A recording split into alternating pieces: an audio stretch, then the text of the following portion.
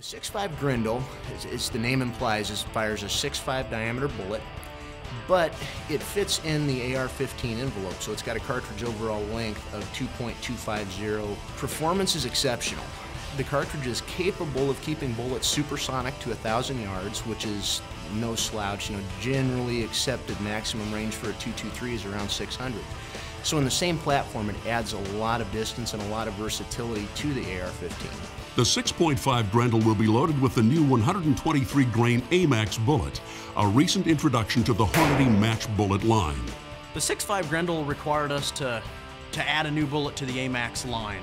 Um, the chamber's a little bit differently, and we adapted our 120 grain AMAX specifically to the 6.5 Grendel. We went with we went ahead and upped the, the grain weight a little bit, 123 grain AMAX bullet to fit in the 6.5 Grendel cartridge.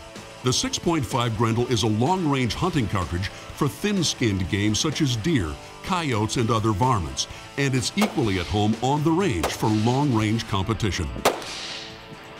The 6.5 Grendel is a well-executed union of firearm mechanics and internal, external, and terminal ballistics that delivers performance, assuring its place in the legacy of the modern sporting rifle, the AR, and the continuing adaptation of Eugene Stoner's design.